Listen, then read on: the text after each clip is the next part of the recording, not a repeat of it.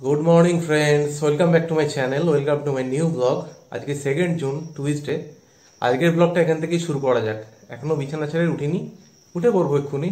উঠে আবার day to day যা কাজ, সব শুরু হয়ে যাবে। চলো।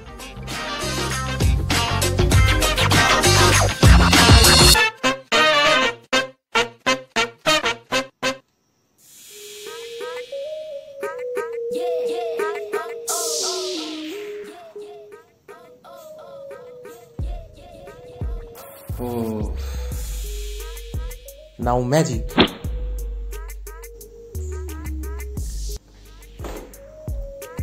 রোজ সকালের মতো আজকেও খাচ্ছি আমলা জল। আগের দিনই তোমাদের বলেছি কীভাবে খেতে হয়। তোমরাও পারলে খেও। এতে ভিটামিন সি প্রচুর পরিমাণে আছে। তোমাদের ইমিউন হতে সহায়তা করবে।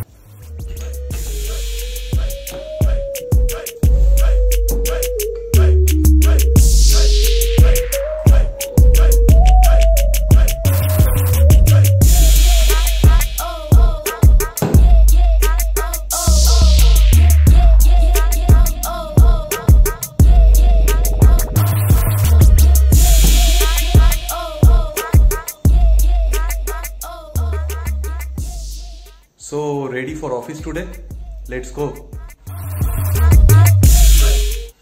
তো ফ্রেন্ডস চলে এসেছি অফিস থেকে। এখন টুকটাক কিছু কাজ করে নিতে হবে। রাত্রে খাবার রেডি করতে হবে।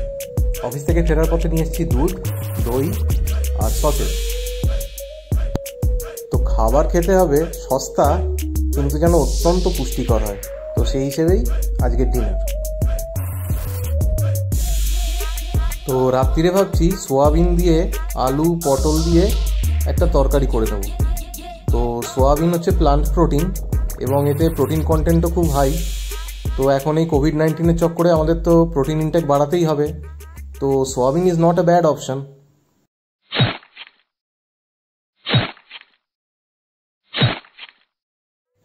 তো তরকারি কাটা হয়ে গেলে সোয়াবিনগুলোকে একটু গরম জলে ভাপিয়ে নেব।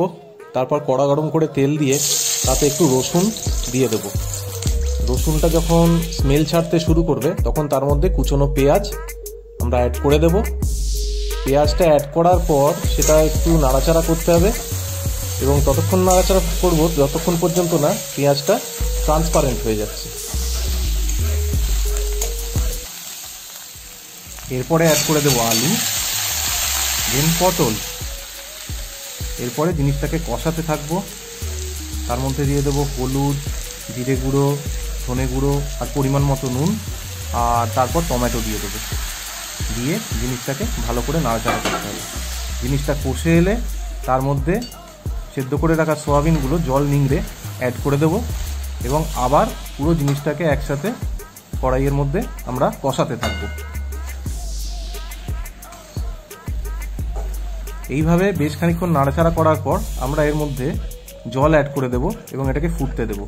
আর নামাবার আগে একটু ঘি আর গরম মশলা দিয়ে এটাকে কিছুক্ষণ রেখে তারপরে আমরা জিনিসটাকে নামিয়ে নেব।